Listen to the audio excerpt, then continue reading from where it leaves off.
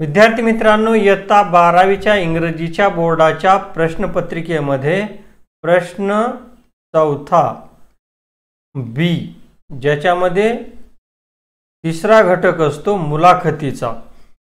तर मुलाखतीच्या प्रश्नाचं उत्तर कसं लिहायचं याच्याबद्दलची माहिती आपल्याला आज बघायची बघा त्या ठिकाणी तुम्हाला काही माहिती दिली जाते व त्या माहितीच्या आधारे मुलाखतीचे आठ ते दहा प्रश्न तयार करावे लागतात. जसं की इमॅजिन कल्पना करा that you are going to have an interview with an artist a musician or a painter कल्पना करा तुम्ही एखाद्या कलाकाराची संगीतकाराची चित्रकाराची मुलाखत घेणार आहात फ्रॉम युअर एरिया तुमच्या भागातील.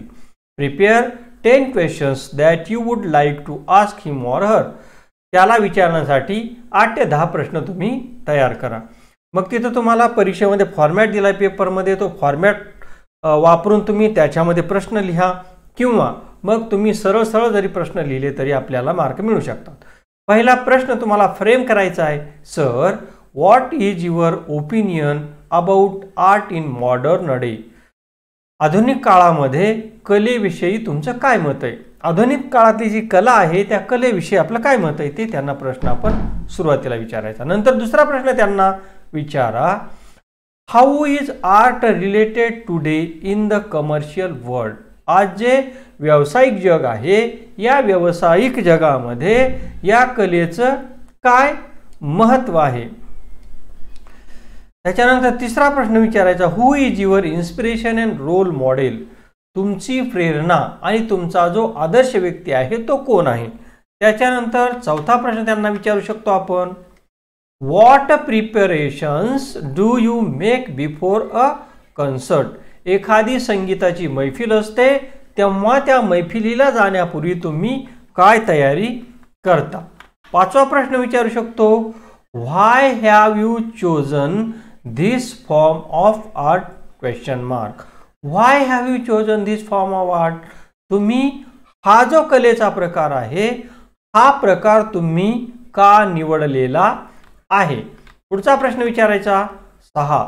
Do you get sufficient support from your family friends and colleagues तुम्हाला तुमच्या कुटुंबातील व्यक्ती तुमचे मित्र आणि तुमचे सहकारी यांच्याकडून सपोर्ट मिळतो का? सातवा प्रश्न त्यांना विचारा. Who is your real hero तुमचा खरा हिरो कोण आहे? आठवा प्रश्न विचारा. What hardships do you face in this field तुम्हाला या क्षेत्रामध्ये कोणकोणत्या समस्यांना तोंड द्यावे लागते? नववा प्रश्न विचारा. Have you had any memorable experience that you would like to share with us तुम्हाला या क्षेत्रामध्ये आलेला अविस्मरणीय प्रसंग सांगा बरं. आणि शेवटचा प्रश्न state what state what message you would like to give to your fans and other upcoming artist तुम्ही नंतर येणाऱ्या ज्या पिढ्या आहेत या पिढ्यांसाठी किंवा मग जे कलाकार आहेत त्यांना काय संदेश द्याल?